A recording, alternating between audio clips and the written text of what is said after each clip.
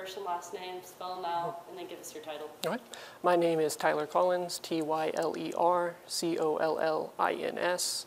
I'm the epidemiologist at the City of Midland Health Department.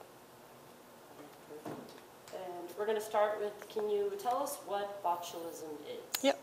So botulism is a bacteria that lives in the soil. It produces spores that, um, if ingested by infants who don't have the gut bacteria built up to combat it, um, can cause uh, toxins to grow and can cause serious problems. Um, it can also grow in improperly canned or preserved food, uh, leading to people to ingest those toxins that are growing in those jars or cans and then getting sick. And so that, that's foodborne botulism. That's typically uh, associated with adults. So those are the two ways it can be contracted. Yes, so foodborne um, through ingested by adults usually, and then infant botulism, they ingest the spores and the toxins grow in their, uh, uh, sorry, in their gut. Uh, do you have any confirmation on what caused these cases of infant botulism? So through our investigation and the lab results that we've uh, that we have from the state health department, um, we have not identified a single source for these uh, cases based off of the lab results and the investigation. There does not seem to be a common source of exposure. And our conversations with the state health department and the California uh, in, infant botulism treatment and prevention program, who dispenses the antitoxin that is used to treat across the U.S. infant botulism cases. Um, our conversations with both of those entities indicates that because the toxin types are different, there's not a common source of exposure.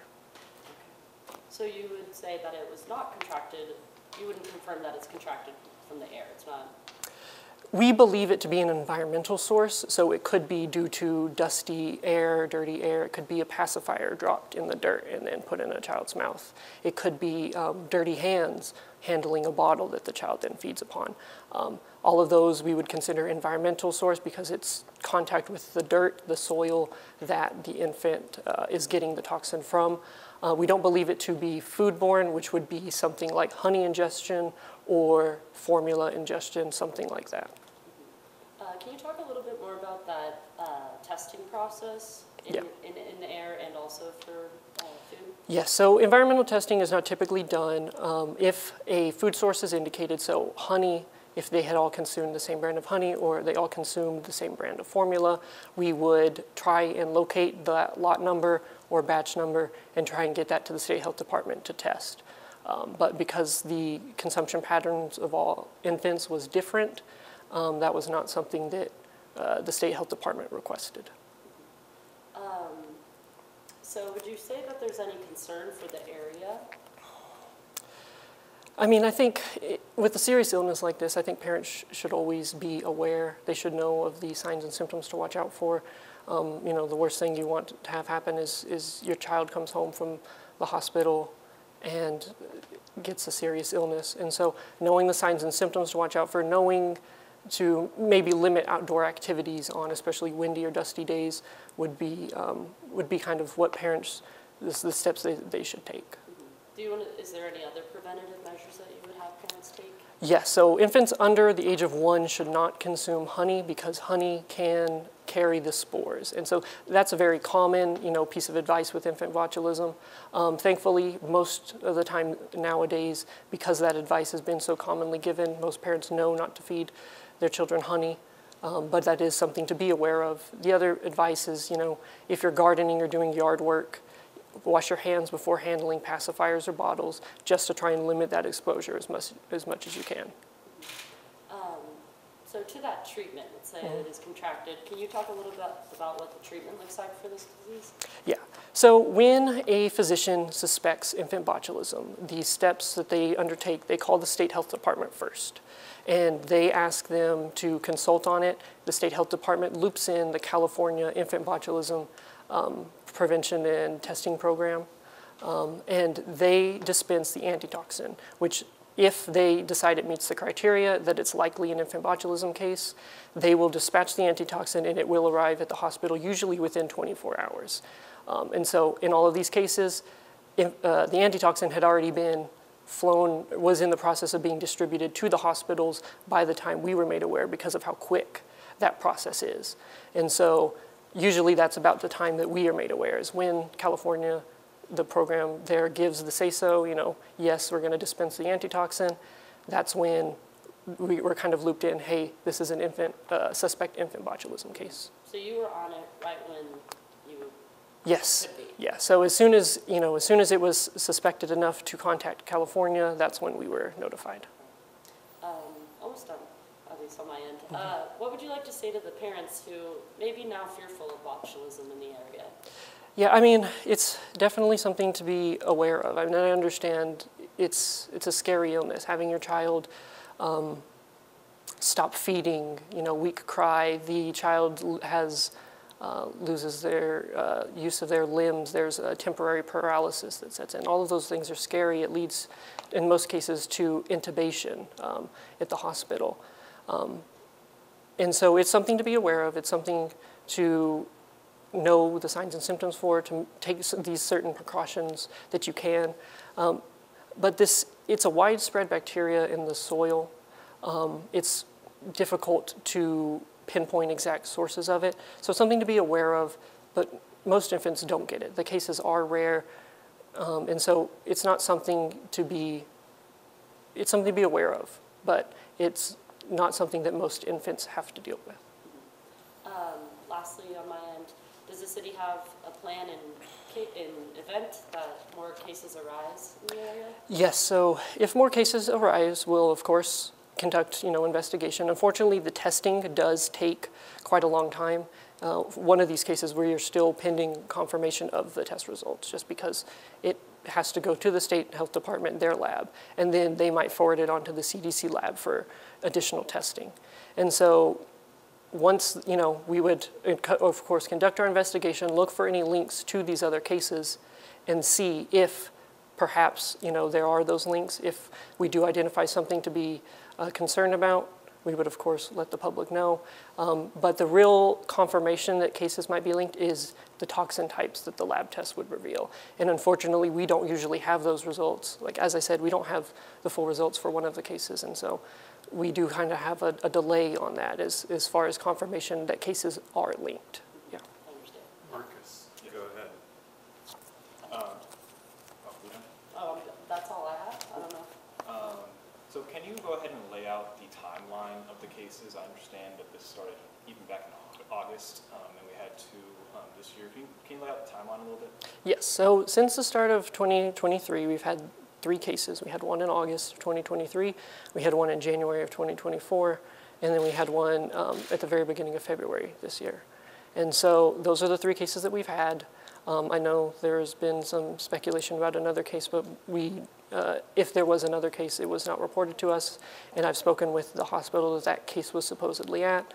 They don't have any indication of, of any cases last year besides the August one. So this specific case, um, this is a rare type of botulism, correct?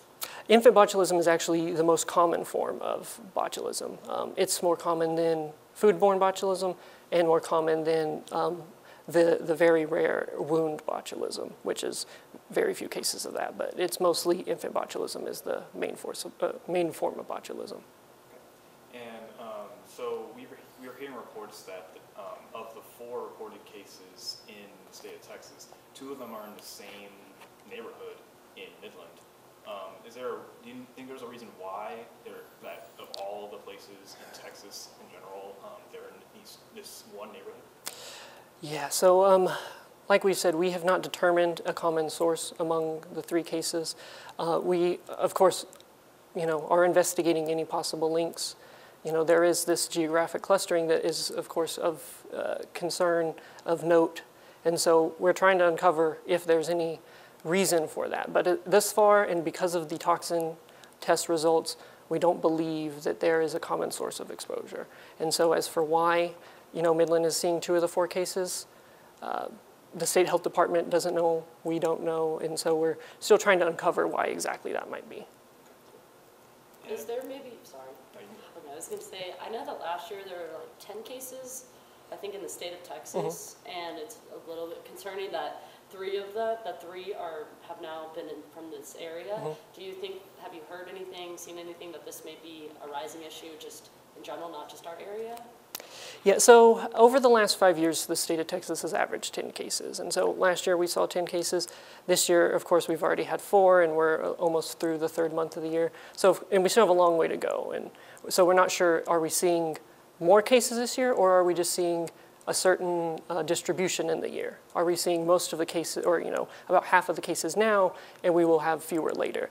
Unfortunately, until, you know, more time passes and we see how many more cases there are, we don't know for sure. Um, We'll, of course, keep following that. We will, I've been in contact with the State Health Department many times and will continue to be just to try and keep me updated, keep us, the Midland Health Department, updated about, are we seeing more cases? Is this a, you know, unique situation to Midland, or is Texas as a whole seeing more cases? So, You might have mentioned it earlier, but what are the symptoms that um, that come about? Yeah, so the main uh, symptoms are constipation, poor feeding, um, or a weak uh, sucking. So maybe you know the child isn't latching on well. Other things can be uh, droopy eyelids or a weak cry, um, as well as dilated or sluggishly reactive pupils, poor head control, and respiratory difficulty. Uh, and so those are the main symptoms. And how old were the um, infants that were reported? Yeah, all of our cases were younger than six months, which is typical of most infant botulism cases. And um, I was seeing that this type of botulism might be fatal. Um, What are, what's the status of the uh, infants as of right now, if you know? So, as of right now, all infants are uh, discharged from the hospital, um, and as far as we're aware, have uh, are on the you know process of recovery, but are no longer in the hospital. And this was a question that my boss had. So do we know if these infants were eating solid food, bottle fed, um, breastfed? Do we know that? Yeah. So, and one reason we have determined that it is not a one of the reasons we've kind of determined is not a common source of exposure or foodborne related. As I said, none of them had honey consumption. One of them was exclusively breastfed. One of them was exclusively formula fed. One of them had a mix of both. And the ones that had a mix of, or the ones that consumed formula, consumed different types of formula. And so there was no consistency as far as the foodborne exposures. I think that's all my questions. Okay, moving on. I know, we we covered One second, MRT. Yeah, I, I do have a question. So there was actually a common factor between the infants, and that was Kiwanis Park. And I'm wondering if that is a city park that's in the central downtown district. So is that something that's been looked at as far as environmental testing of that park? Um, based off of our investigation, I can't go into specifics about each case, but there was not a common source of exposure. And so other things have been stated publicly, but based off of our investigation, there was not a common source of exposure. You said that state health agencies have been involved, but what about TCEQ? Has, has they been notified at all? So TC, uh, TCQ is not typically involved in infant botulism cases. If they would get involved, that's something that the state health department might rope them in on. Um, environmental testing is not typically done in, by the state health department in the cases of infant botulism. Um, as I mentioned, the bacteria is widespread in the environment. We could theoretically test different environmental sources, but there is no guarantee. It, it might be detected, but it doesn't guarantee that that was the source of exposure or that those toxin types match the toxin types of our cases. I think that's it. If we missed anything that you would like to say or touch on, um, you hit everything, I think, but.